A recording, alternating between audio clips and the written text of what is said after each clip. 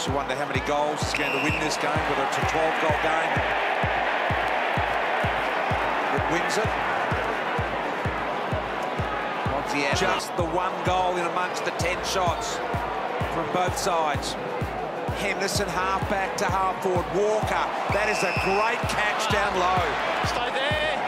What a good mark. Soft hands from Taylor Walker.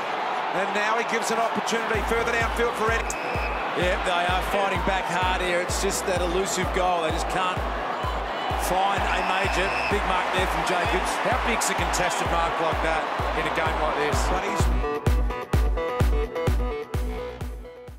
Well, surely that's got to be centimetre perfect.